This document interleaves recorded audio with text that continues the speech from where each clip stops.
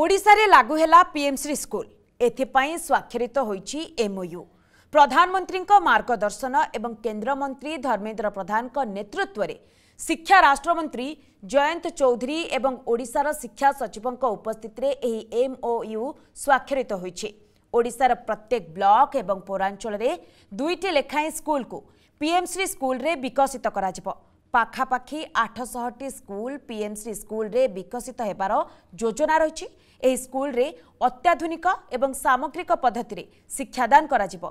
ନବସୃଜନ ଆଧାରିତ ନୂତନ ପ୍ରଯୁକ୍ତି ବିଦ୍ୟା ସ୍ମାର୍ଟ କ୍ଲାସରୁମ୍ ଏବଂ କ୍ରୀଡ଼ା ସହିତ ଅନ୍ୟାନ୍ୟ ଦିଗକୁ ଗୁରୁତ୍ୱ ଦିଆଯିବ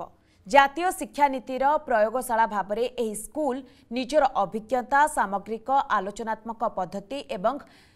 ଶିକ୍ଷଣ କେନ୍ଦ୍ରିତ ପଦ୍ଧତି ମାଧ୍ୟମରେ ଏକବିଂଶ ଶତାବ୍ଦୀର କୌଶଳ ମାନବବାଦୀ ଦୃଷ୍ଟିକୋଣ ବ୍ୟକ୍ତିତ୍ୱ ଗଠନ କରିବାରେ ସହାୟକ ହେବ ICT digital lab digital library digital learning ଟୁଲ୍ସର ବ୍ୟବସ୍ଥା ରହିବ ମାତୃଭାଷାକୁ ପ୍ରାଧାନ୍ୟ ଦେବା ସହିତ ଶିକ୍ଷକ ଏବଂ ଛାତ୍ରଛାତ୍ରୀଙ୍କ ମଧ୍ୟରେ ଭାଷା ଦୂରତାକୁ ହ୍ରାସ କରିବା ଦିଗରେ ସାହାଯ୍ୟ କରିବ बर्तमान सुधा एक राज्य और केन्द्रशासित अंचल सहित केन्द्रीय विद्यालय संगठन एवं नवोदय विद्यालय समिति मोदी सरकार योजना पीएमसी स्कूल अधीन से विद्यालय गुड़िकर उन्नतीकरण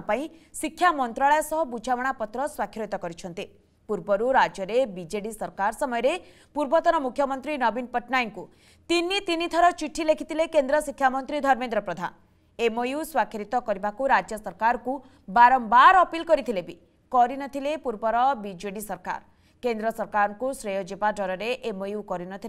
पूर्वर बीज़ेडी सरकार